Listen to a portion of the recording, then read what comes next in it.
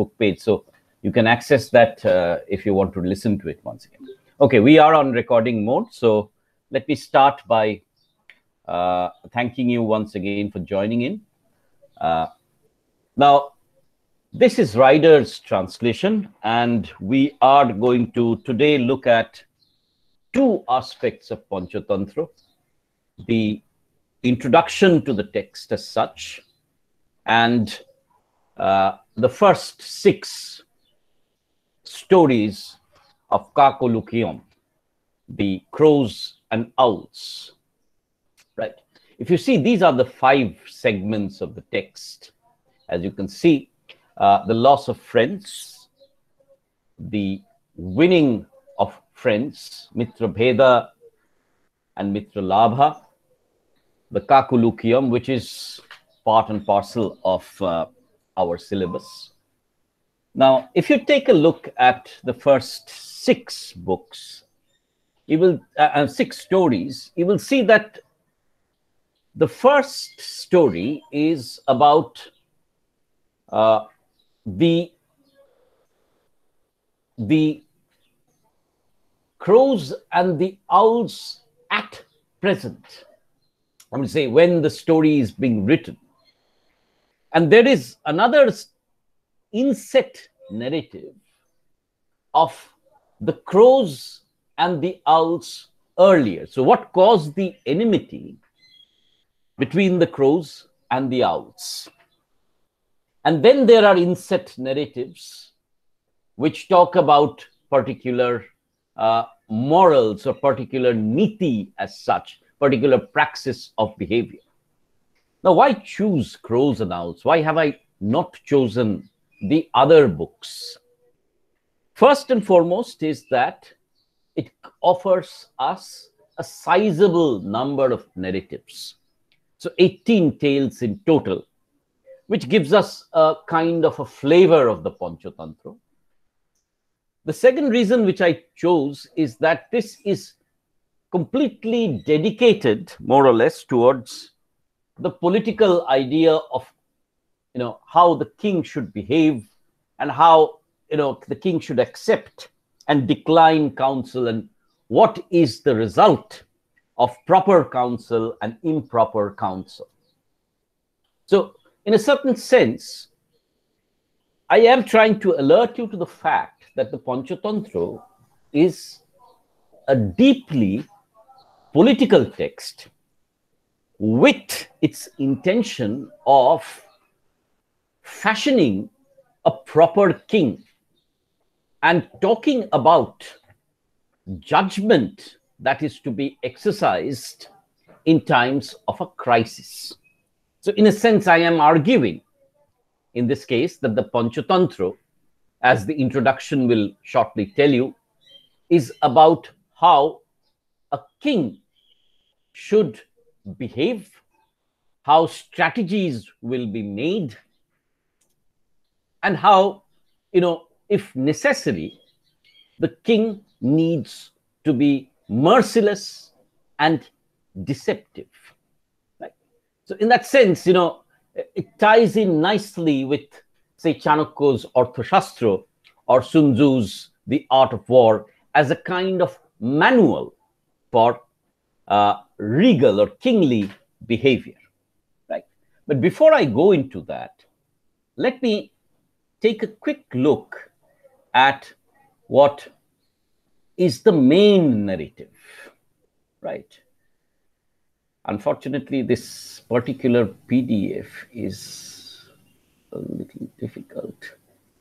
But uh, let me quickly come to the introduction. Now, yesterday I mentioned that uh, the prose altern uh, I'm sorry, the text alternates between verse and prose.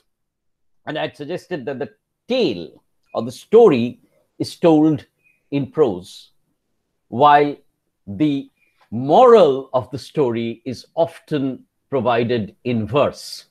Now, how the Sanskrit works will obviously be explained by uh, the professor whom I have invited to uh, give you a flavor of the Sanskrit since I do not know the language. But take a look at the translation. And you see the introduction one, Vishnu Sharman, shrewdly gleaning all worldly wisdom's inner meaning. Now, it's very interesting again, as many of you will be working out. The Panchatantra is based on worldly wisdom. So we are not talking merely about the Vedas, for example, or the holy texts, scriptures, as it were. This is a manual of life and how life actually operates and how the king should operate. And he also talks about wisdom. So there is this distinction very clearly made between knowledge and wisdom and the way in which you know information uh, particular study of disciplines is transferred into wisdom only and only if you can apply it at the opportune moment. There's also this suggestion that wisdom is often related with experience.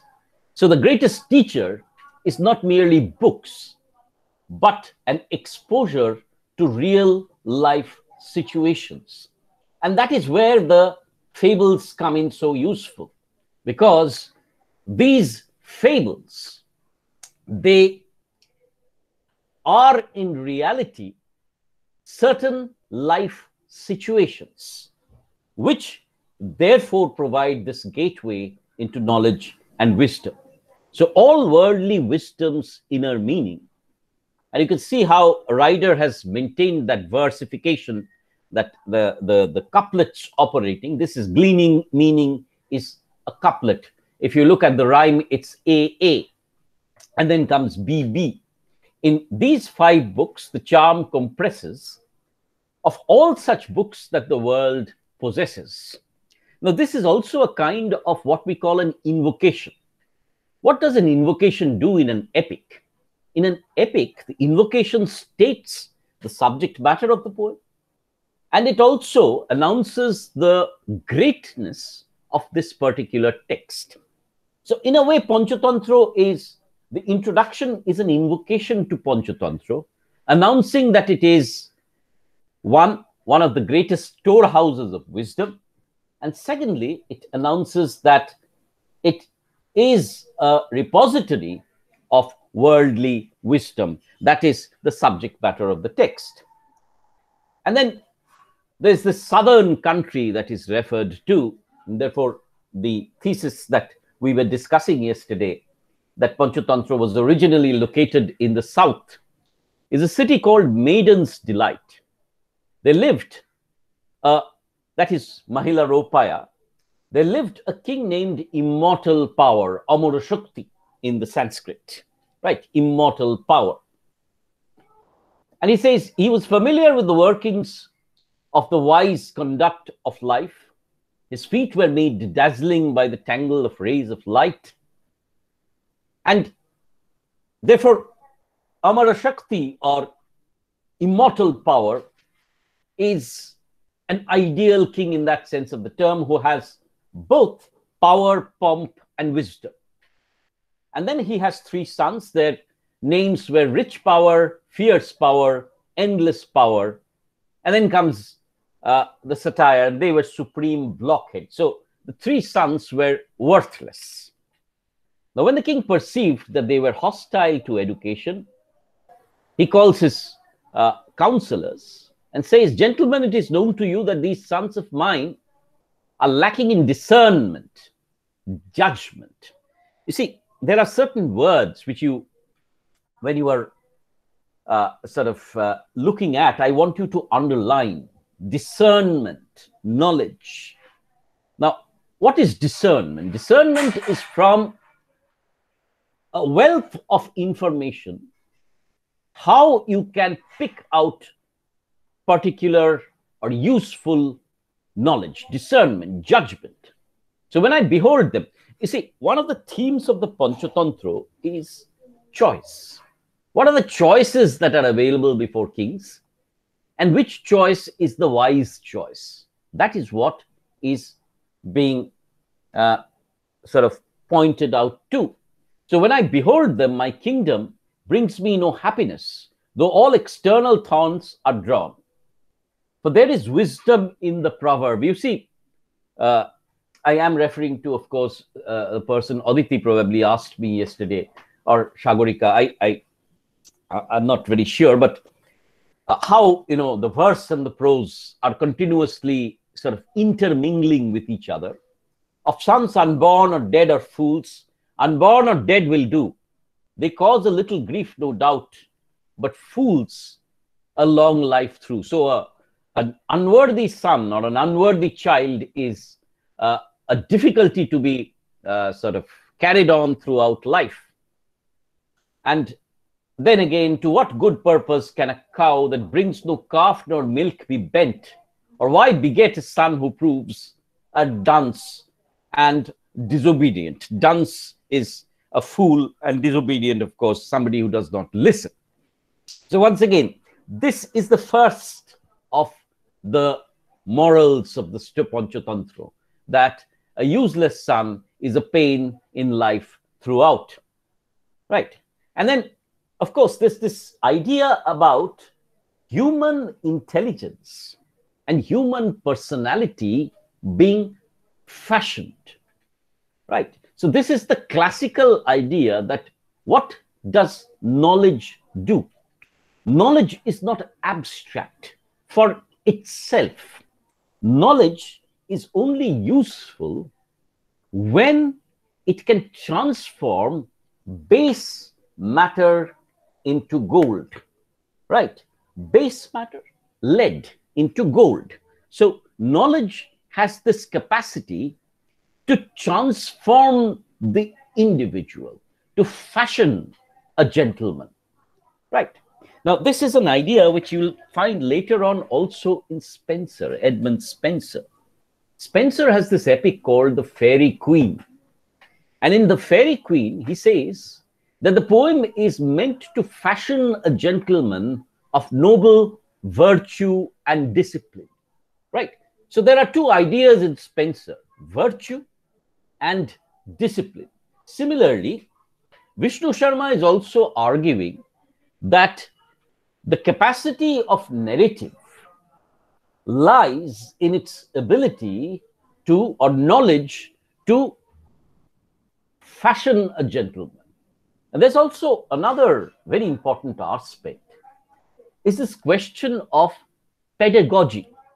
What is pedagogy? Pedagogy is the art of teaching. Right. So, how does one teach somebody who is not interested in learning? Right. That's very important. You see, there are various categories of students, some unintelligent, some intelligent but lazy, and some intelligent but hardworking. So, how does one go about teaching and fashioning the king's personality? That is what Vishnu Sharma is trying to uh, uh, uh, uh sort of uh, point out the king this incidentally is being narrated by the king so you, you please remember something. Which tale is being narrated by whom and to which reader or to which listener? It's a chart. কিন্তু Kintu. This is the chart that all of you will make for me, Kakolukiyam. Who is the narrator of the tale? what is the tale about and who is the listener of the tale whom is it being narrated to that will give you an idea of how many tales are told by which character and who is the most important of them all. And then comes the counselors and says, So, king, first one learns grammar in 12 years, and then one masters books on religion and practical life. So, you have a manual of what classical Indian learning would have been like. It would have been grammar and rhetoric for 12 years. Then uh, it becomes that is vyakaran, right? And then there is dharma, and then there is practical life. So there's an enormous span that is taken to master a subject. Then the intelligence awakens. And then one of the counselors says time is limited. The verbal sciences require much time for mastery. Therefore, let some kind of epitome be devised. There's a proverb that says, see, once again, notice how frequently, how very frequently verse and prose alternate. Since verbal science has no final end, since life is short and obstacles impend, let central facts be picked and firmly fixed, as swans extract the milk with water mixed. Can any of you briefly unmute yourself and tell me what that figure of speech is? Let central facts be picked and firmly fixed, as swans extract the milk with water mixed. Any volunteer? Simile. Yes, very good. That is a simile. What is a simile? A simile is a rhetorical figure of comparison where two unlike objects are sort of uh, compared. So, what is the counselor trying to say? The counselor is trying to say that from the facts or from the information that the student receives, he must be able to pick out, like a swan, the milk from the water. Right? So he must be able to take out the essence, the best from a lot of information. Now keep that in mind. What is the Panchatantra doing? The Panchatantra is obviously suggesting that a new pedagogy needs to be evolved, where learning should be through narrative rather than through dry discourse. And from this narrative, you must be able to glean out, like a swan, milk from the water. So there are, as it were, tales which are like water, from which the knowledge, the milk, has to be gleaned out. And he says, now there's a Brahmin called Vishnu Sharman with a reputation for competence in numerous sciences and he will certainly make them intelligent in a twinkling.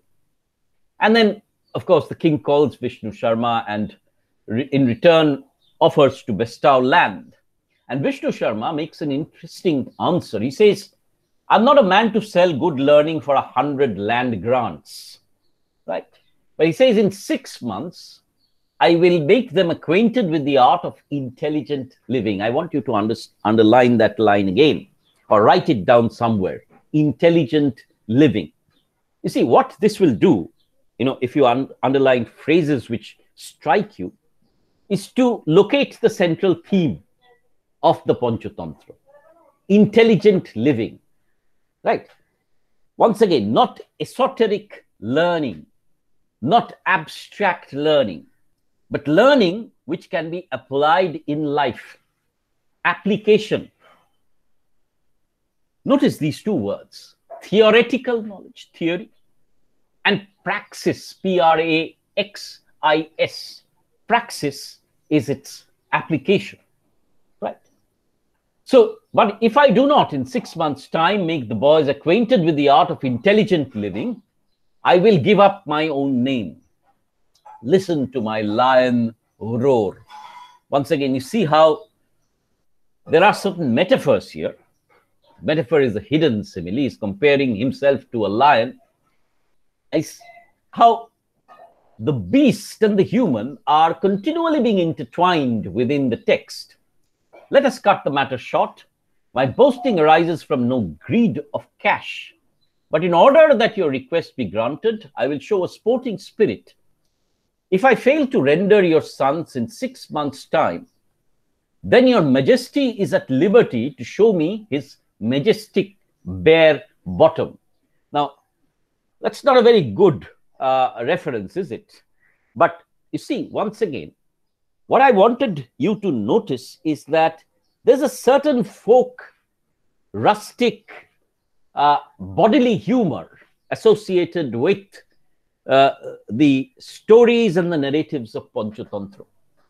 In fact, a lot of these Panchatantra deals with the concept of calm desire, right? So there are cuckolded husbands, there are sexually aroused wives, sexual desire is, as it were, one of the integral parts of the Panchatantra, right? So it is not as if it talks only about king and power, but it will also talk about sexuality in human life, deviances, and the need to uh, sort of bring all this within a structure of control.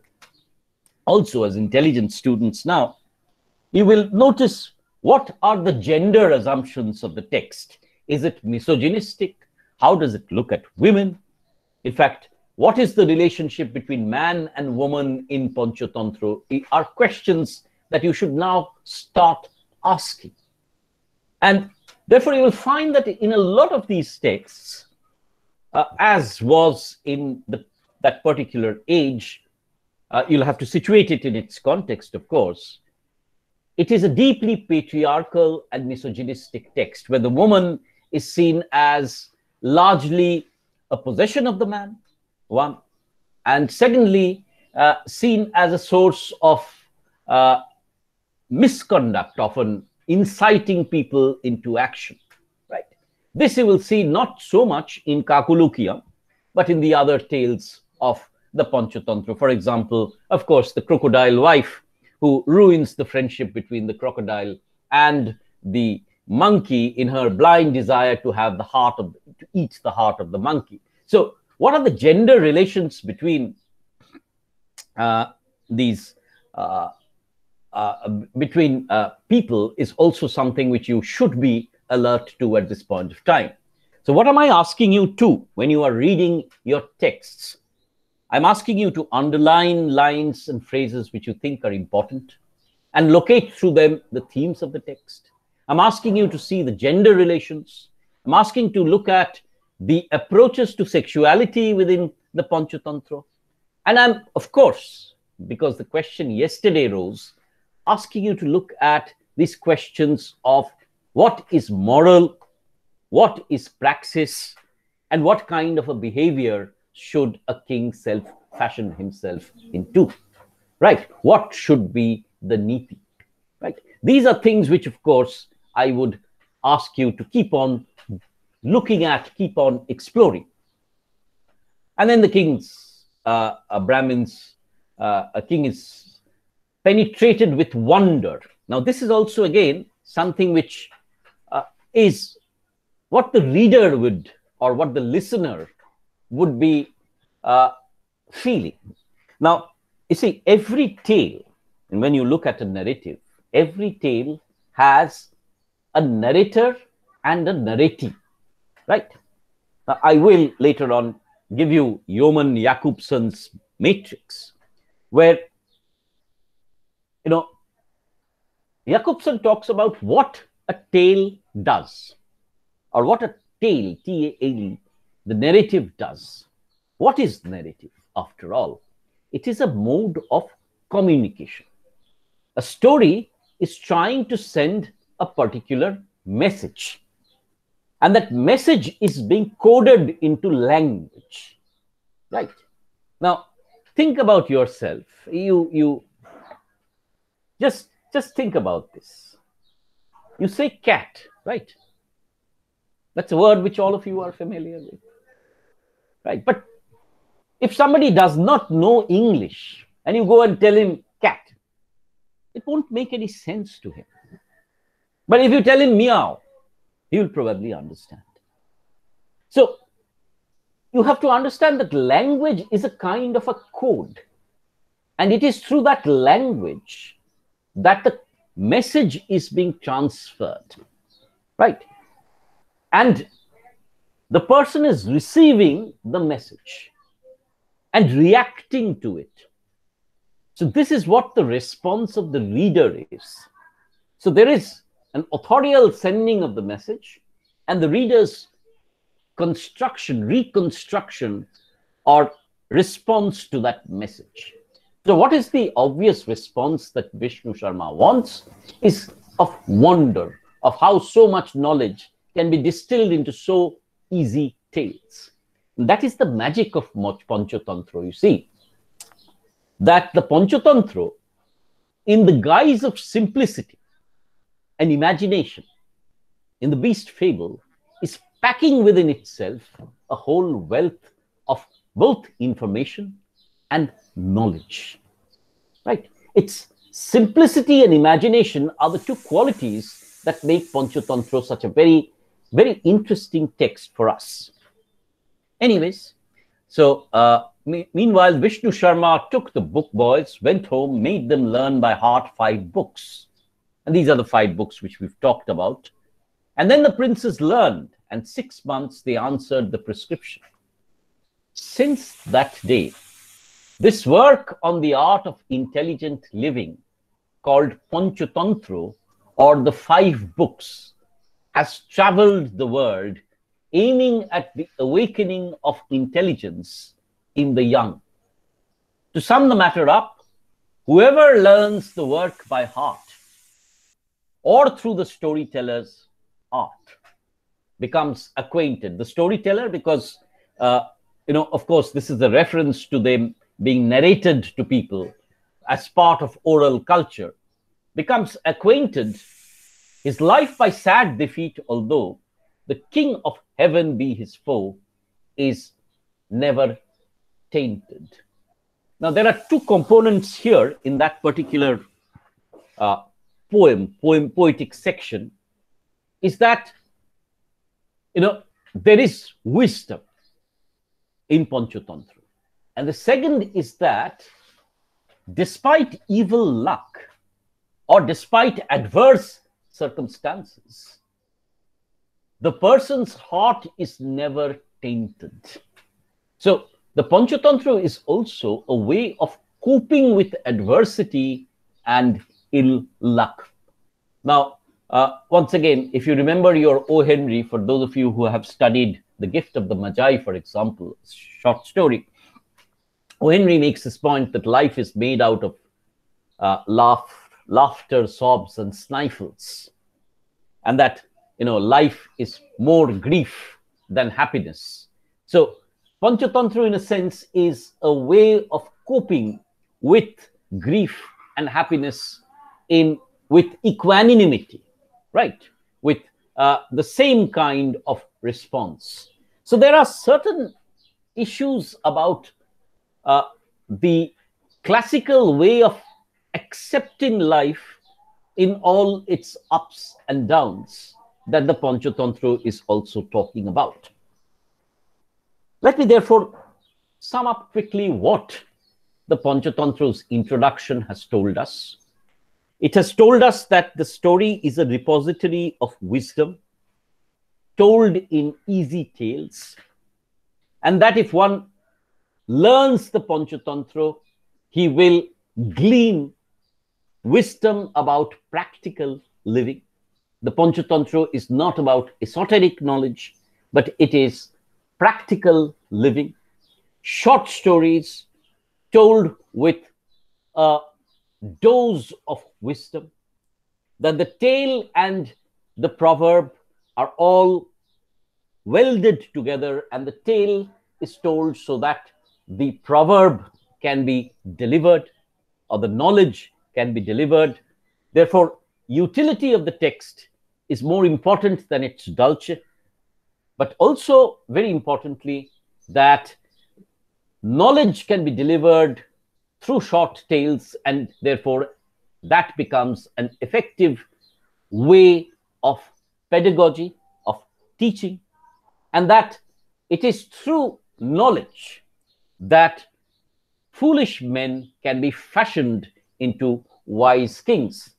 It has also elaborated the context that this is primarily a book which was intended for princes.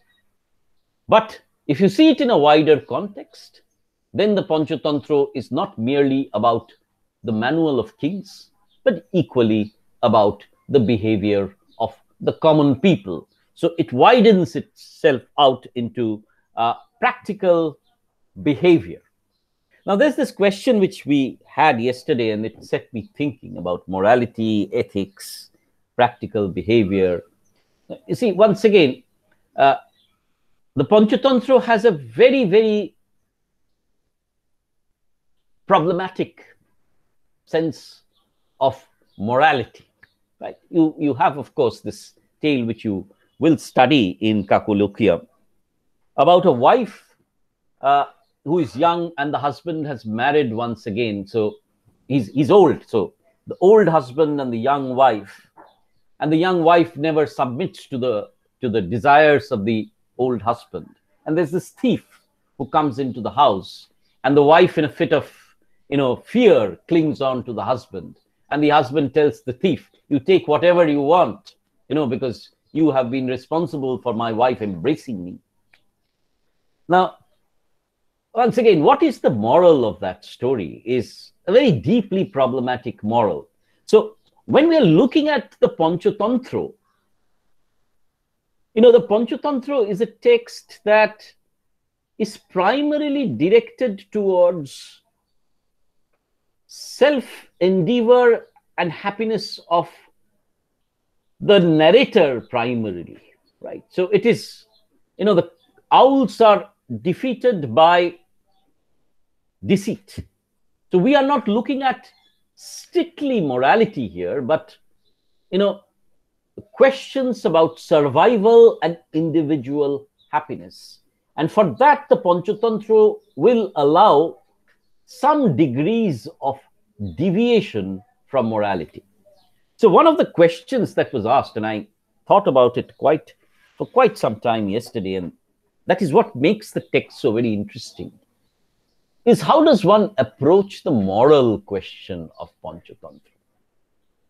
And if you extend that, is the morality of the king different from the morality of the ordinary human being? What about deceit? What about inappropriate behavior? What about lying, for example? Is that permissible?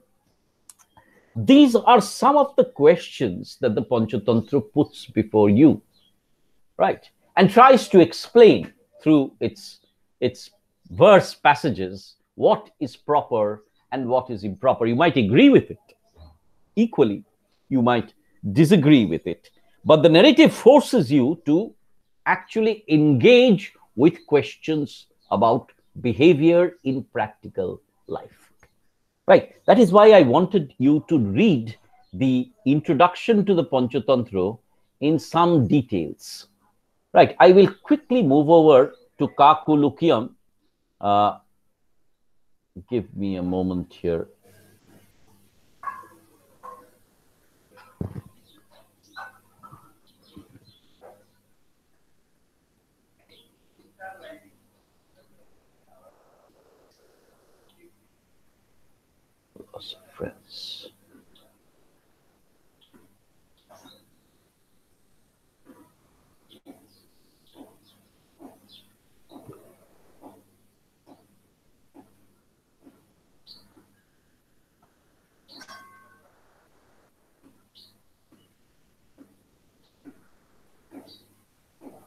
Sorry, just just bear with me. Ah, there you go.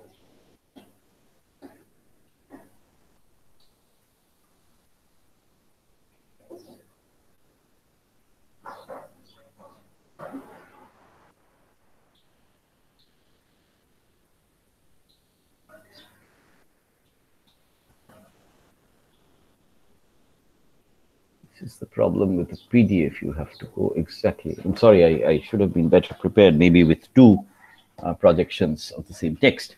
Right, so here begins then book three called Crows and Owls, which treats, and then you have straight on, he talks about the subject matter of peace, war, and so forth. And therefore, these are some of the first glimpse, glimpses of, of the morality of that of, of war actually.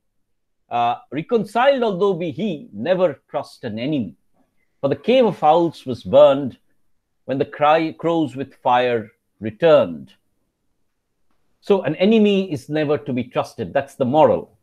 And how was that asked the princes and vishnu sharma told the following story.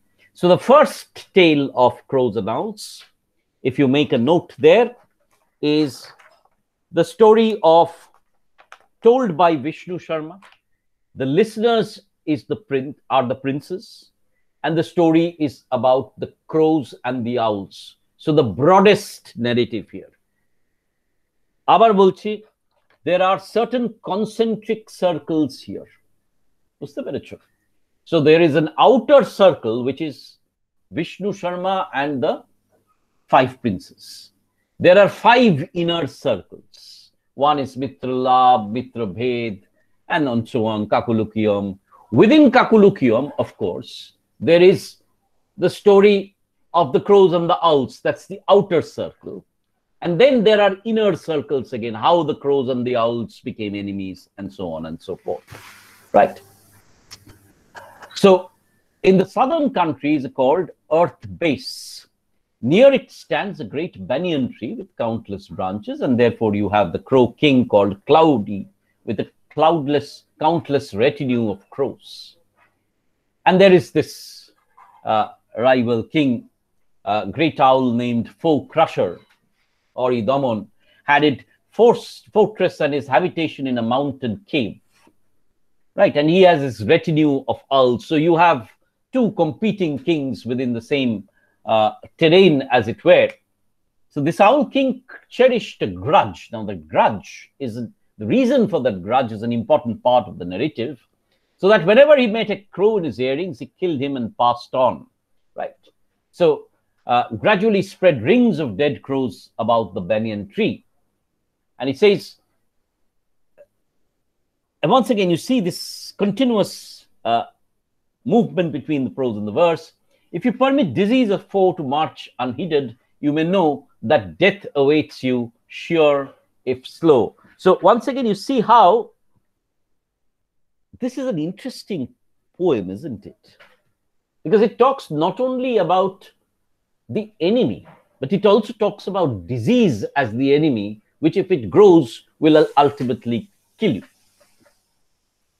And says, uh, our enemy is arrogant. So, my point being that while it is talking about kingship and how the king should behave, it is also talking equally about everyday life and disease, and how disease, if untreated, will result in much more serious conditions. Right. So uh, then he talks about and he turns to his counselors. And this is very interesting. You see, that the structure of society is such that the king, while he is the one who will be making the choice, always falls back upon his counselors for his available choices. Right. So you know, the Panchatantra suggests that any problem might have n number of ways of approaching it. And wisdom lies in the correct choice to be made of the options. And that politics or the science of politics offers you X number of correct choices. So every choice may be a valid choice under a certain circumstance. But within one particular circumstance, what is the best choice to be made? So the Panchatantra is also about the theme of Panchatantra, one of the major themes of Panchatantra is the correct choice. Right. So uh, he says there are six possibilities peace, war, change of base, entrenchment, alliances, and duplicity. So the king is aware of which, uh, what are the choices available to him. And this is when I ask you to, you know, see that it is very transparently human, isn't it? When the text is talking about crows, it is actually not about crows at all. It is about the human world. So the human and the and the non-human world and the animal world in Panchatantra are interchangeable. Are very, you know, there's a very fuzzy boundary between the human and the non-human, so that you know the animal world is in reality the human world. Right. So the saying goes, good counselors should tell their king unasked a profitable thing. If asked, they should advise so, who is a good counselor and who is a good king? The good counselor, therefore, should tell their king unasked a profitable thing, while flatterers who shun the true are foremen in disguise. Right? So, if a king believes in flattery and trusts flatterers as counselors, then his end will be poor. So, it's a, a kind of a lesson which is quickly implanted into the text. So, therefore, it is now proper to confer in secret session. So, there are five, you know, ancestral counselors. Uh, am I audible? Uh, there's a sudden sound. Just unmute yourself and tell me, one of you, that I'm audible. Yes, yes. Yeah, right. Thank you. Yes, sir. So uh, then Cloudy starts to consult his five ancestral counselors. And Live Again replies, Woe king, one should not make war with a powerful enemy. So he has his own logic. He says, Bow your head before the great, lifting it when times beseem, and prosperity will flow even onward like a stream. Right, so this is one option. Make peace with him who won't. Tis to conquer in a fight. Otherwise, other foes will bend their necks to you, fearful of his might. And he goes on. So you see, once again, there are uh, there are well ways in which he is continuously moving and putting his advice. To sum it up, never struggle with the strong. If you wish to know my mind, who has seen a cloud baffle the opposing wind? So his suggestion, suggestion number one is submit and surrender. The king says to live well.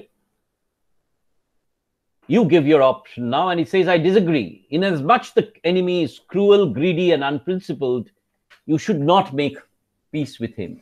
With foes unprincipled and false, it is vain to seek accommodation, and therefore you should fight. So, in a certain sense, there are two options here. One is that you accept that the foe is strong. Both all the counselors accept that. Now the question is whether to fight or whether to give up, whether to submit or go away, fly away. So there are actually two options to engage or disengage. And if you want to engage, how are you to engage with the enemy? Right? So we have been humiliated by him. Therefore, if you propose peace, he will be angry and employ violence again. Once again, he's very right in this way because the owl kills not the crow, not by anger, but by an ancient grudge Right? So uh, then comes again when kings are merciless as death, all foes are quick to knuckle under. And then comes live along. And live along says, O king, the enemy is vicious and powerful and unscrupulous. Only a change of base can be recommended. So don't make war, don't make peace. Let's all go away from this place. Right. So far, we have not had any tail. এখন একটু কিন্তু খেয়াল রেখো there's no separate tale within as yet. Right? The king said to live on, My worthy sir, may pray express your opinion. And he disapproves of all the three. And he says, very importantly, a crocodile at home can beat an elephant, but if he goes abroad, a dog can make him pant. You know, so many proverbs have come in from the Panchatantra, as it were. Uh, you have this saying, of course, Nijade Golite Kukuro Raja, but uh, well you can now see how it is the Panchatantra which has become a storehouse of these kind of sayings as it were. So his option is uh, of course that uh, you cannot go away from your own place and stand firm resolve or to do or die so living can earn renown or dead the starry sky. And then he says uh, to live long, and live long suggests that we have to have alliance through deft and though deft and brilliant. What good end can you attain without a friend? The fire that seems immortal will die when fanning wind, when the fanning wind is still. So between them, they have given the options that are available to the king. So finally, as it were, Cloudy comes before an ancient So once again, the thesis that experience, that knowledge is not learnt only from books, but experience in life. Far-sighted counselor of his race. And this is a crow who had preserved to the last page of every textbook of social ethics. And his name was Livestrong. And he says, Father, I had a secret purpose of questioning the others in your very presence. And you listen, might listen to everything and instruct me as to what is fitting. Now look at this. The king has said that, you know, yours is the advice that I'll finally take. I asked the others so that you could listen to them. Right. So this is a king who trusts experience. So pray instruct me in the appropriate course of action.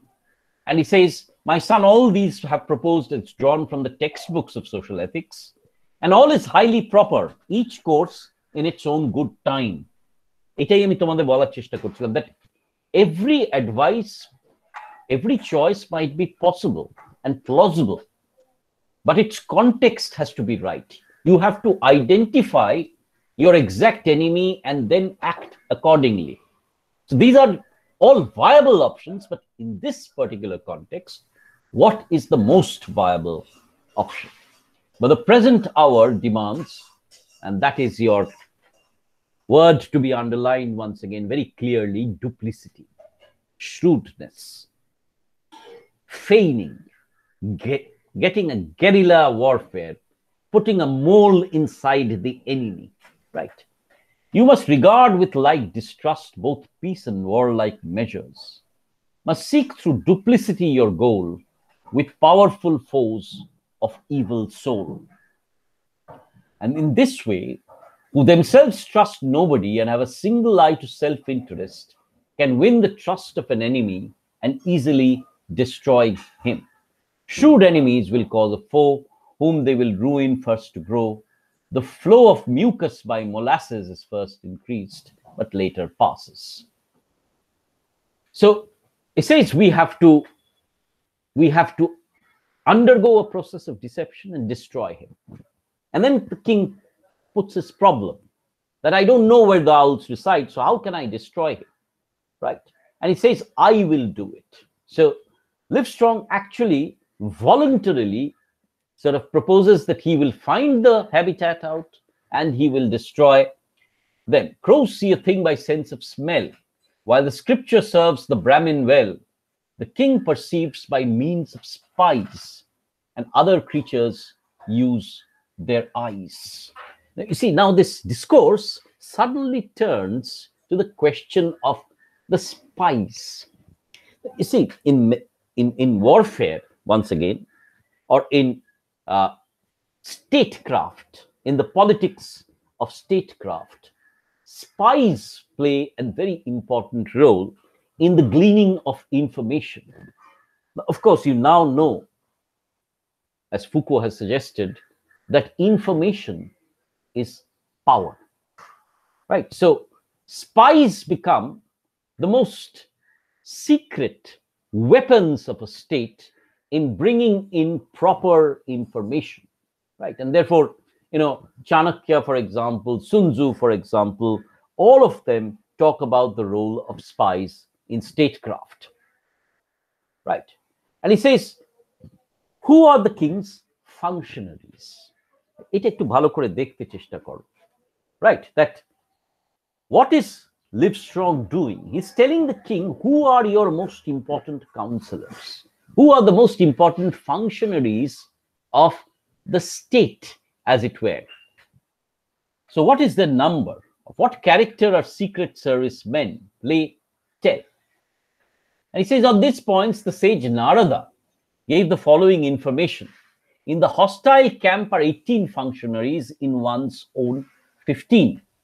The four has 18 functionaries, and you have 8 and 10. Give each as unknown secretaries three service men.